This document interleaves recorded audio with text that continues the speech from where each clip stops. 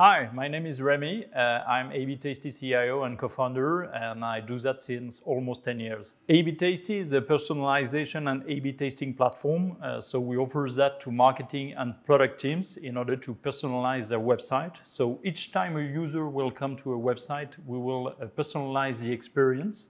Uh, so we sell that to all uh, big companies like retailers, like travel, like media's company. Uh, we are Paris-based at the beginning, but we operate in six countries as we have offices in the UK, in Spain, in Germany, in the US, and in Singapore. Our next challenges are around people.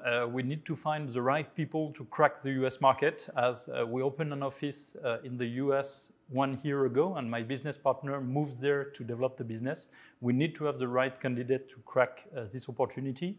And we need as well uh, state-of-the-art developers to develop the technology we, we manage uh, because we are in front of a huge challenge in terms of technology and we need the best for that. If you are eager to learn a lot of stuff, uh, you can join us. And if you are eager as well to drink beers, travel a lot, speak English, even with an accent, or uh, you are curious, join us.